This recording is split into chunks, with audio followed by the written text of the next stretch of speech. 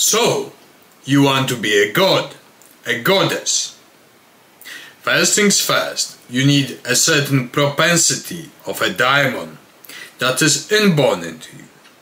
Second of all, you need to undergo Eleusinian initiation. That means that your spirit, your daimon, is submerged in Tartarus, in the abyss. Then it becomes transformed in interplanetary zones and you are designated to a certain sphere or its order by the gods and goddesses.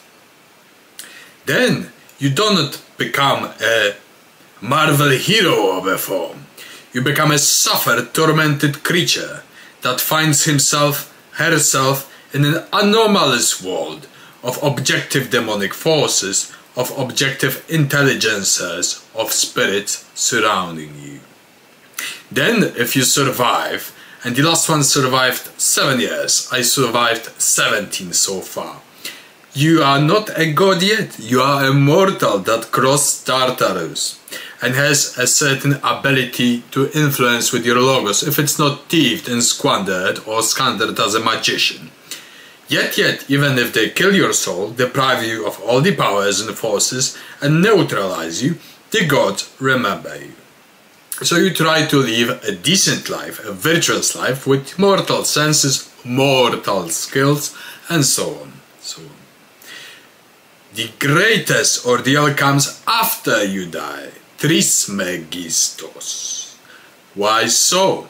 Because imagine that a woman is giving birth to a child in terrible pain and to be born into the world of gods and this starts you give yourself a birth away from biological organic life of mortals into the world of powers and forces. So, I expect that after I die, as I was informed, I will go to tremendous torment, going through all my pains of the past. And there were plenty, it was a well of pain that I need to cross and bridge in order to gather all my divine qualities around the Ankh, the mesh tree that was built in me by the Nungalmesh, by the Babylonian and Egyptian gods, in good hope that I will survive. And I wish you the same journey. At the same time, I wish you won't suffer this torment this much to any of you that would like to aim for that quality. And while I was surrounded by ignorance of many monkeys that were envious, the scourge of the world that thieved the identities, the stories for their personal gain. Now becoming a force, a power, a god is about complete heavy duty forces commitments and obligations because you belong to a greater order of powers and forces. And what happens then? You are not immortal anymore. You don't think like a human animal. You are impassionate, objective and strong. You belong to the forces of the cosmos, of the universe.